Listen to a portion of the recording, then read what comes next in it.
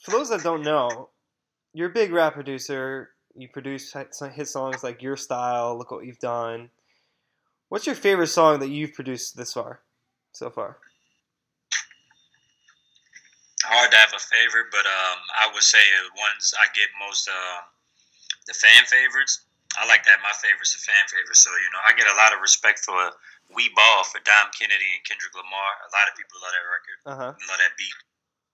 Um, I get a lot of love for um, the "Pass the Dutch" beat I did on the Young Money compilation. Um, you know, look what you've done. Obviously, um, drop the world. You know, um, and then just a bunch of joints that I've done on the internet for different guys. Um, a lot of people like the beat, uh, this beat that I've done for Troy Ave artist, uh, Young Lito. It's called Wolves and Snakes. It's a pretty, it's a pretty dope beat.